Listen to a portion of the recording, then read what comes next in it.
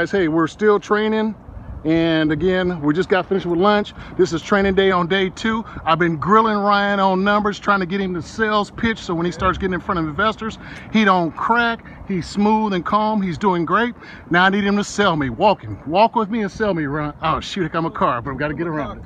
Terry, what?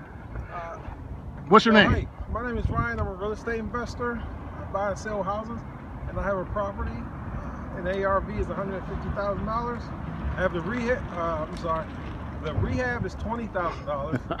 the owners, they're asking $89,000. Uh-huh. I have it under contract for $85,000. Got it under contract for 85. Keep going. My total investment is $115,000. Uh, my, uh, uh, Hear him? See, now he's cracking. profit Uh-huh.